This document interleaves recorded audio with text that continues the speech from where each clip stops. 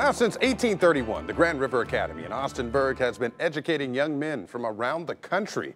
The dozens of students who attend right now, witnessing history. That's because their headmaster hopes it inspires them as they move on to improve lives and build a better land.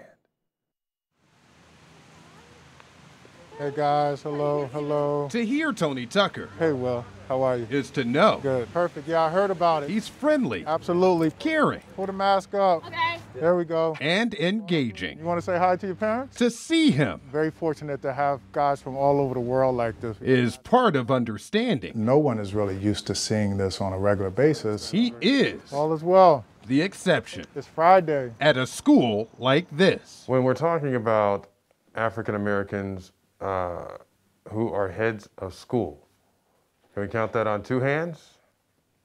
One hand.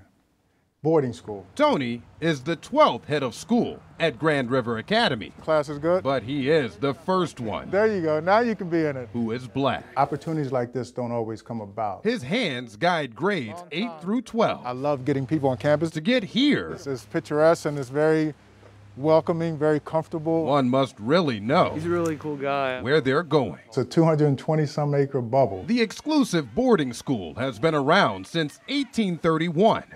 Tony arrived two years ago as director for enrollment. almost like a parent figure, I guess, because he's like a really good role model. The headmaster is still following his role model. my elementary school principal, Mr. Reed, and Mr. Reed was a black a black male, black man. Got any plans for this weekend? He just had a local audience.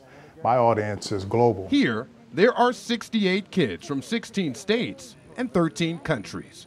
Black students make up about 7% of enrollment. This is the first place I, I came. The first place I came to when, when I came when I came from Africa. This is Kajellan Odor's second year. It's been an honor and a pleasure to be here. Student graduation is always followed by acceptance into a university. Many move on to Ivy League schools. For all students, there is one lesson Tony says must stick. I'm not rare. There's people who look like me that are more qualified than me. There's people who look like me that are probably better prepared and have better resumes to be able to get positions like these. Do you actually drink all that water every day? But the opportunity doesn't always present itself for people who look like me to be able to get into those positions. Anton, how you doing? But getting here required more than just him. Sometimes God helps you to get somewhere despite yourself. Tony They lost, right?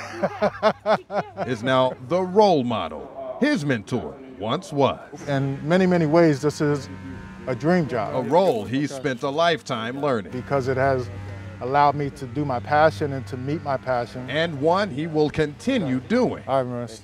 Okay, thanks, guys. as he mentors those around him. It feels like I would do this without even getting paid for it because this is just what I love to do.